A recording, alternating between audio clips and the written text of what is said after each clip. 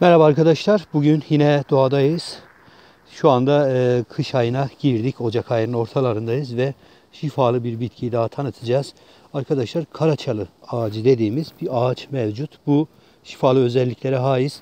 E, yol kenarlarında işte e, ve orman altlıklarında bulunan bir bitki. Evet oldukça da soğuk bir hava. Şu anda yolda seyahat ederken bu bitkiyi gördük. E, ve bir miktar toplayacağız. Bu karaçalı ağacının e, meyvesi arkadaşlar karaçalı pul olarak geçiyor. Hemen burada kurumuş ve kullanıma hazır hale gelmiş şekilde. Çok e, çeşitli şifaları mevcut arkadaşlar. Bu Anadolu'da hatta bunun nazarlık amacıyla kullanıldığı biliniyor.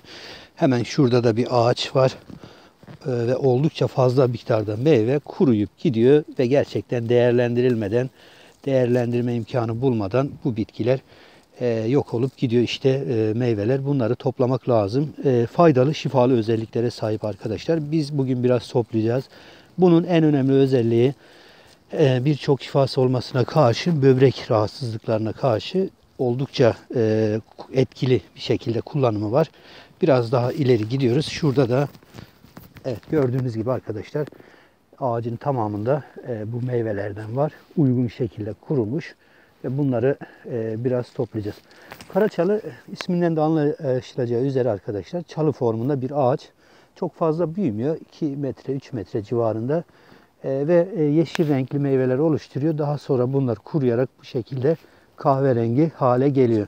Bunun içerisindeki maddelerinden dolayı gerçekten e, şifalı özellikleri çok mevcut. Ve en çok e, böbrek rahatsızlıklarına karşı kullanılıyor. Nasıl kullanılıyor? Toplanan bunla, e, bu meyvelerden 5-6 tanesi arkadaşlar bir bardak suda kaynatılıyor. Yaklaşık 5 dakika. Daha sonra da şifalı çay elde ediliyor.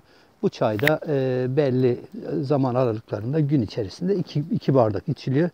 E, özellikle de içerisindeki bulunan çekirdeğindeki hemen e, bu pulun ortasında bir çekirdek mevcut. Onun içerisinde birçok şifalı maddeler var. Özellikle e, böbreklerdeki taşları düşüren, iltihabı dindiren, yine böbrek rahatsızlıklarının e, her türlüsünü gidermeye muktedir bir özelliği var. İşte bu yönüyle karaçalı e, pulu şifalı bir e, ürün arkadaşlar doğada Rabbimizin bize sunduğu bir bitki. Biz de bugün bunu e, seyahat esnasında e, gördük ve toplayacağız şimdi bir miktar hemen işte gördüğünüz gibi karaçalı pulu.